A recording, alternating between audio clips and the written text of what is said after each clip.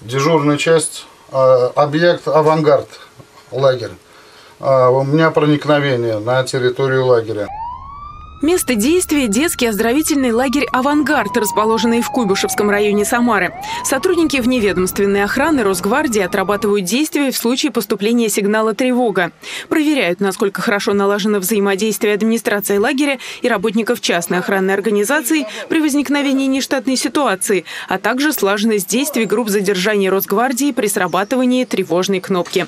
По легенде, на территорию детского лагеря пытался проникнуть посторонний. Охранник нажал кнопку «Тревога» тревожной сигнализации, после чего на место прибыли сотрудники вневедомственной охраны. Охранная организация лагеря обязана иметь лицензию, позволяющую оказывать услуги на объекте. А охранник четко знает свои должностные обязанности и уметь пользоваться кнопкой тревожной сигнализации, выведенной на пульт вневедомственной охраны Росгвардии. За безопасность детей родителей можно не беспокоиться.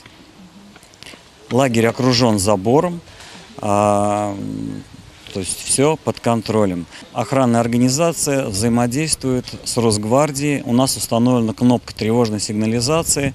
И в случае нажатия а, бойцы Росгвардии в кратчайшее время прибывают в лагерь. Центром лицензионно-шительной работы на постоянной основе проводятся мониторинговые мероприятия качества оказания охранных услуг. Э, в рамках данных проверок э, проверяется наличие правового статуса у работников частных охранных организаций, наличие у них э, личных карточек частного охранника, медицинских комиссий и пройденных периодических проверок.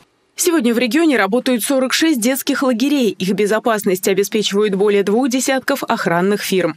За качеством их работы следят сотрудники лицензионно-разрешительных подразделений Росгвардии. Подразделения вневедомственной охраны контролируют 70% объектов летнего отдыха детей. Виктория Шаре. События.